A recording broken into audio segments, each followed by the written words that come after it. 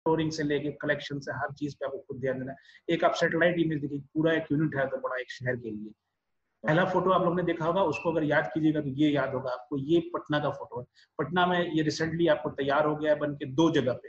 Treatment plant जो पटना में, इसको आप लोग देख सकते हैं। और ये जो ट्रीटमेंट प्लांट है, दो जगह हो गया है, दो जगह और कम्प्लीटली अभी आ रहा है। इतनी पुरानी सिटी जिसमें आपको वन फोर्थ हिस्सा भी सीवेज सिस्टम यहाँ तैयार नहीं है। एस मतलब आवाज़ जा रही है आपको ना? फिजुल्ला?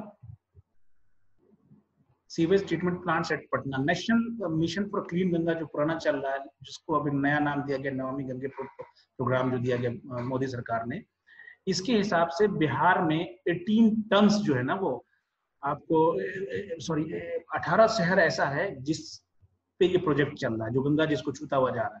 पाँच हज़ार करोड़ का प्रोजेक्ट है, जिसके हिसाब से जो सीवर सिस्टम डेवलप होगा और ट्रीटमेंट के बाद पानी आपको गंगा में जाएगा। जो अभी प्रेजेंट सीवर ट्रीटमेंट कैपेसिटी है गंगा की जो गंगा की है यहाँ पे, गंगा के अलोंग जो कैपेसिटी लोग sixteen forty six million litre per day से है, जिसको आपको कंप्लीशन पे ये बढ़ा के छह मिलियन लीटर पर डे बढ़ा देगा। अभी चौसठ मिलियन लीटर ही हम ट्रीटमेंट करके वो पानी को डाल रहे हैं गंगा में, ये बढ़ा के छह सौ तैतालीस कर देगा। गंगा के पॉल्यूशन का 50 परसेंट पॉल्यूशन सिर्फ़ और सिर्फ़ आपको आपको पटना और भागलपुर से हो रहा है। अभी तक पटना में सीवेज का नेटवर्क सीवरेज सिस्टम का नेटवर्क है नहीं, सिर्फ़ सिटी के कुछ एरिया को छोड़ दीजिए, पुराने हिस्से में तो।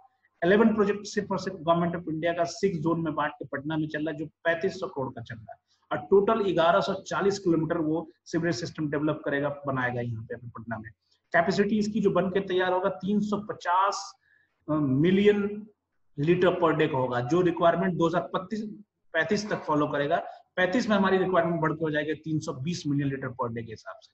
ये स्विच ऑफ़ हो जाएगा, इसके बाद हम लोग फिर स्टार्ट करेंगे घबराएँगे करमली चक में और ब्योर सीवेज ट्रीटमेंट प्लांट लगभग तैयार है। करमली चक का पूरा तैयार हो गया है। ब्योर का भी मुझे लगता है कि रिपोर्ट आते आते तैयार हो चुका होगा। इसका जो कैपेसिटी है वो 80 million litre water per day जो आपको दो किलोमीटर नेटवर्क को आपको वो तक का ये कर लेगा। जो प्रोजेक्ट है, आप लोग ने अगर जाना होगा तो आप लोग जाके देख सकते हैं इसको। ये बहुत ही महत्वाकांक्षी प्रोजेक्ट इसका मतलब ये सिटी का पूरा रुख ही बदल देगा। यही काम चल रहा था जिसकी वजह से आपको अभी डक्टिंग सही से नहीं हो पाया था, जिसकी वजह से पिछली बार जो बाढ़ आया था पटना में, इसकी वजह सिर्फ़ यही थी कि सही से इसका डक्टिंग नहीं हो पाया था और पुराने नाले बंद पड़े थे, नया कनेक्टिंग अभी हो नहीं पाया था। इस बार भी मुझे लगता है कि प्रॉब्लम आ सकती है, इसलिए कि लॉकडाउन की वजह से वो काम बीच में ही रुक गया है। फाइनल स्टेज में ये पहुँचना था, जिसकी वजह से ये बीच में भी रुक गया ये। तो यहाँ पे हम बात कर रहे थे कि जो पटना वाला जो प्रोजेक्ट है, ये आपको करमली चक वाला ब्योर वाला लगभग तैयार हो चुका है। जो करमली चक और ब्योर करमली चक वाला है ना, वो 18 million litre per day water आपको पर डे जो है आपको इतना सीवेज को ट्रीट करेगा। 277 किलोमीटर जो ट्रैक है टोटल ट्रैक कितना जाएगा आपको?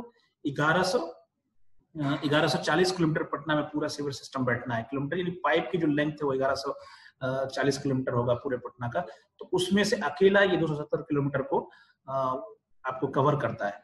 और ये एस्टिमेटेड कॉस्ट जो आया इस दोनों पे, जो करमली चेक वाला और ब्यूर वाले पे, इसमें सतहत्तर और अड़सठ करोड़ के आसपास आया है। और जो आगे दो बन रहा है प्रोजेक्ट वो सादीपुर में जो 60 एम यानी मिलियन लीटर पर डे और पहाड़ी पे बन रहा है जो 60 मिलीलीटर पर डे की, ये भी लगभग कंप्लीशन के करीब है।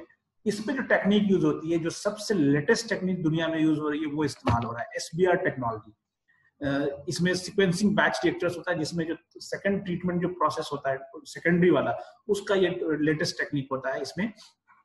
इस दूसरी सबसे बड़ी बात इसकी खूबी क्या है कि एरिया बहुत कम लेता है ये। और कम एरिया के साथ साथ इसमें इलेक्ट्रिसिटी इलेक्ट्रिसिटी का कंजप्शन बहुत कम है।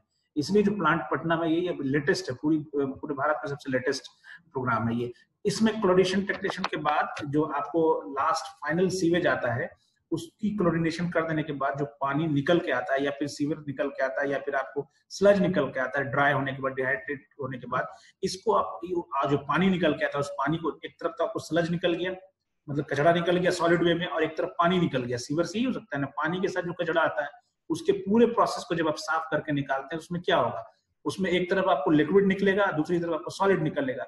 जो लिक्विड वाला पार्ट है पानी, वो इतना साफ़ हो जा सकता है कि इंडस्ट्रियल यूज़ के लिए बिल्डिंग के धुलने के लिए बिल्डिंग कंस्ट्रक्शन के लिए एग्रीकल्चर के लिए, दिल्ली में तो इवन कि आपको नहाने धोने के लिए सारा वही पानी इस्तेमाल होता है।